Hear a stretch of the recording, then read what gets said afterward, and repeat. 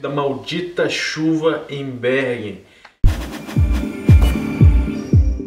Para quem ainda não se inscreveu lá no grupo, A Gente na Noruega, corre lá no Facebook, procura e se inscreve. A Gente na Noruega. Eu falei muito aqui nesse canal a respeito de como eu era infeliz quando eu morava na cidade de Bergen porque chovia muito. E eu sempre recebo comentários de pessoas, olha, eu visitei Bergen e tava fazendo um solzaço lá, cara, tava muito bonito e etc. Só que eu quero explicar para vocês da seguinte forma que vocês entendam que se você fosse se mudar para Noruega ou for escolher algum lugar onde viver na Escandinávia, que você pense duas vezes antes de escolher um lugar como Bergen, porque chove muito. Ah não, Igor, mas isso aí é muito relativo, tem pessoas que gostam de chuva, pessoas que não gostam de chuva. Realmente tem gente que gosta, tem gente que não gosta, é verdade. E a felicidade é subjetiva, a gente já comentou isso antes. Mas, eu estava lendo o jornal hoje e são 26 dias desde o começo do mês, hoje. E são 26 dias chovendo em Bergen.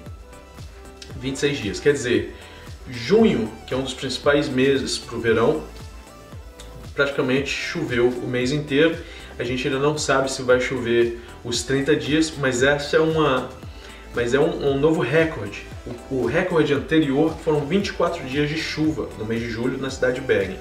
Hoje são 26 dias de chuva, eles obtiveram um novo recorde, eles vão estar obtendo um novo recorde a cada dia que chover mais. E o engraçado a respeito disso é que o pessoal lá em, na cidade de Bergen, eles odeiam chuva, boa parte odeia mesmo, certo?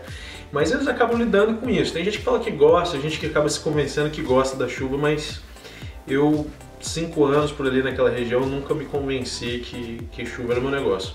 Mas chega numa situação dessa, como eles estão ali num recorde, fica todo mundo ali apreensivo para ter mais um dia de chuva, mais um dia de chuva, para ver se eles conseguem fechar o mês inteiro de uma vez de chuva, né? Que pelo menos aquela chuva sirva para alguma coisa. A ideia é mais ou menos essa por ali. Então, a dica para a galera é a seguinte: olha, se você gosta um pouquinho mais de um tempo assim mais seco, mais ensolarada, etc., Bergen pode ser que não seja a cidade ideal para você. Se você realmente gosta de chuva e gosta de chuva todo dia, toda hora, Bergen é a cidade ideal para você.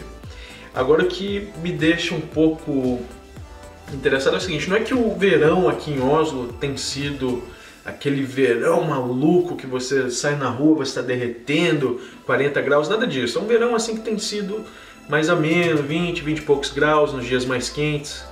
É, embora você sinta que seja mais quente que isso, né? Porque você já está vindo de um clima um pouco mais frio quando você mora aqui, né? Está vindo no inverno.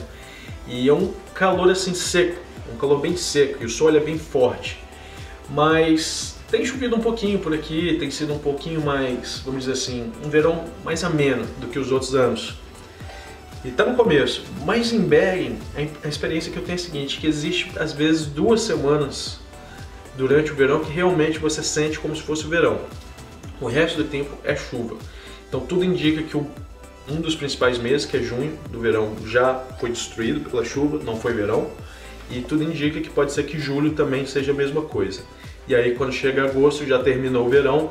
Então normalmente ali o que deve safar em Bergen são duas semaninhas de sol. Então, me diz aí, pessoal, o que vocês acham disso? Vocês gostam da chuva? Acha que seria uma boa viver num lugar como Bergen?